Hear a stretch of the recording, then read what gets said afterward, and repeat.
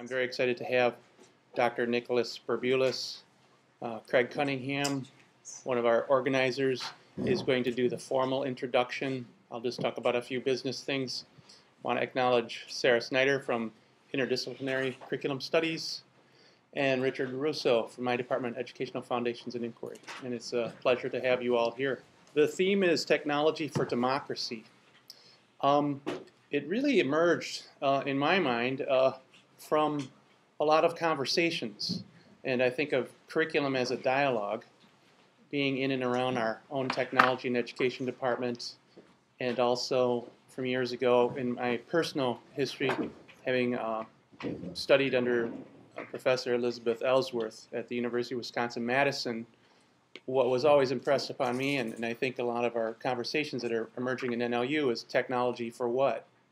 And technology for whom? And so I went back to revisit uh, a reading that was introduced in Dr. Elizabeth Ellsworth's class. Um, and it's in the book Watch It. And I'll pass the book around. This is Burbules McAllister. And uh, it was my first introduction to the idea that technology, of course, is not the utopia or the final answer, but it's also not just a tool.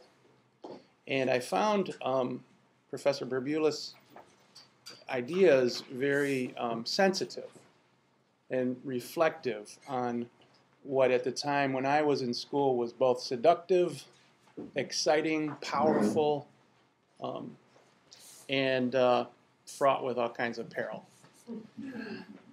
My history was uh, just a little bit more was to look at this reading and look at others, and I was a video enthusiast and still am uh, back in the days of analog.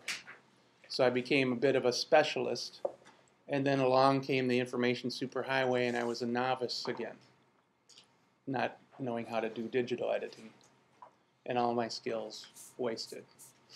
Not wasted. Not wasted. so the uh, but the the love of technology is of course uh, one of the uh, appealing uh, pieces because we love our tools and uh, uh, we are enamored with our cell phones and our iPods and our music and and the question again is to what ends and how does it impact learning in the K through 12 as well as learning outside of the schools. In addition to being an influential editor, Nick is a world-renowned philosopher and commentator on contemporary issues in education, especially concerning the role of technology in education. If you search YouTube, you can find interviews with him conducted in Argentina this past fall. And just last week, he appeared on Frontline, the PBS documentary program, giving his thoughts on the phenomenon of for-profit colleges and universities.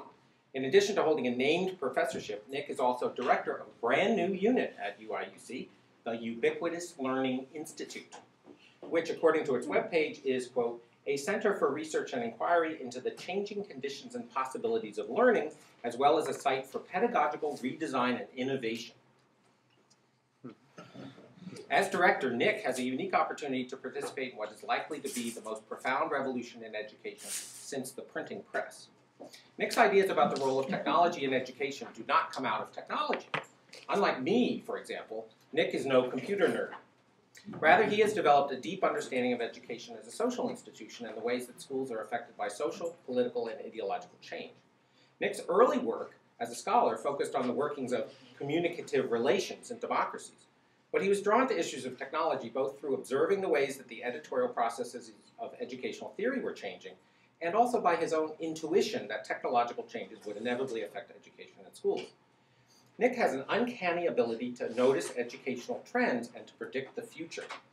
In 1996, for example, in an article entitled Knowledge at the Crossroads, Some Alternative Futures of Hypertext Learning Environments, written with Thomas A. Callister Jr., Nick wrote, quote, The educational implications of this issue, that is, the difficulty of finding your way through hypertext as opposed to a linear reading, the educational implications of this issue are profound. Hypertext can permit students to focus their investigations on questions informed, informed by their own particular interests and experiences. They proceed through and organize materials in ways that make sense to them, developing their own heuristics. This flexibility has many advantages, not the least of which is a capacity to accommodate different personal or cultural learning styles. Now, if someone wrote this paragraph in 2010, it would seem pretty routine, but this was 14 years ago. When most of the world was just learning what it means to click on a blue underlined word on a web page. There's one final part about Nick that must be mentioned here, although it's not part of Nick's official academic biography. Every morning, before most of us has wiped the sleep from our eyes, Nick goes online and scours the blogosphere for significant issues and trends related to progressive politics and collects the most important snippets into a blog called Progressive Blog Digest. He's been doing this since 2004, and even before that, he sent it out as a daily email newsletter called Today's News. For some of us, including me, this has become the primary source of political news. By spending 10 minutes reading this blog, I feel I have at least a rudimentary sense of what's important in the political world, and if I'm still curious about any part of it, I can follow the included links to learn more, just like the student that he talked about earlier. You can find Nick's blog at, write this down, PBD, that's for Progressive Blog Digest, pbd.blogspot.com. If you forget the URL, just look at Nick's license plate. Oh, that's true. You noticed that, yeah. His Subaru says PBD blog. Nick's work on the Progressive Blog Digest represents a, come on in, Maya, a direct service to democracy in America. I know he does this work uh, because he's fundamentally securing, fundamentally committed to securing, as John Dewey wrote in 1939, quote, plural, partial, and experimental methods in securing and maintaining an ever-increasing release of the powers of human nature in service of a freedom which is cooperative and a cooperation which is voluntary. Those are quote from Dewey. And like Dewey, Nick's commitment to democracy isn't just theoretical. He's working on the front lines on its behalf. Please join me in warmly welcoming Nick Burbules to today's I'm going to start by doing the philosopher's thing, which is we have these words in this title Technology for Democracy. Uh, let's think about those words just a little bit. Um, as some of you know, I know Craig knows, uh, John Dewey has some very interesting things to say about democracy. And one of the most interesting things he says about democracy is that the way that we think about it is mostly wrong. If you ask most people what is a democracy, they'll say something like uh, a system where you get to vote for your leaders. Dewey says that's not the most important thing about democracy. That's not what makes a democracy a democracy. And that particular element is worthless without, in fact, probably counterproductive, without other really important social and cultural norms, are, are, which are what actually makes a democracy democratic. What are some of those norms um, and values? One is having access to information, but the other is working to become informed about the information that's there. Again, one is not any good without the other. Um, if you're thinking along with me, you're already thinking about the internet, for example. Uh, encountering and engaging other points of view, particularly points of view that disagree with you, that you know will disagree with you.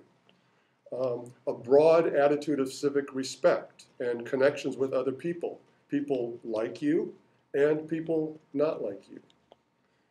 Dewey argues very strongly that a democracy is not worth having if it doesn't have those characteristics and values, and that specifically the right of voting is, as I said before, worthless or counterproductive if the people who take advantage of that privilege don't have these other characteristics.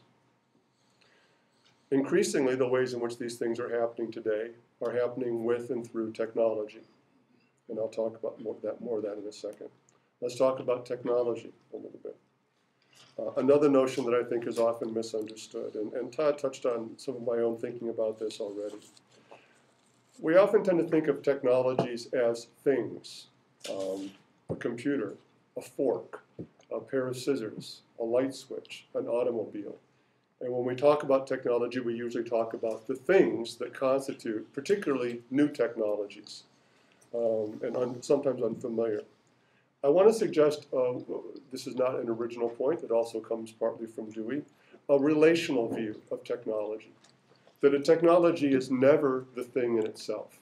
It's the thing in itself in relation to us.